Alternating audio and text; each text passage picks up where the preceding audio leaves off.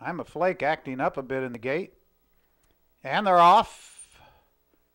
Kulu, I'm a flake, both broke well from the outside. Then on the inside, Dixie Julep, North to Glory between horses. It's I'm a Flake, Dixie Julep, and North to Glory. Those three together gap of three lengths to Kulu. Then she's a Rockette, Angel in Blue. 22 and 3 for the opening quarter.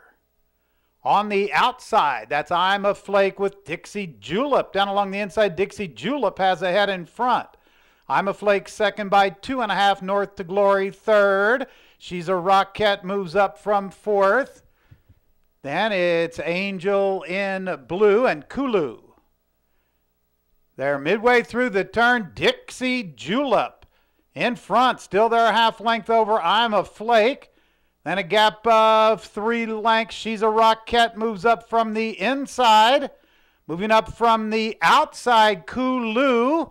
And on the extreme outside, also north to glory, it's Kulu in the center of the track who moves by and gets the lead from She's a Rockette in second. Then Dixie Julep nearing the wire. Kulu draws away. Kulu wins it by two and a half. She's a Rockette second. Photo for third.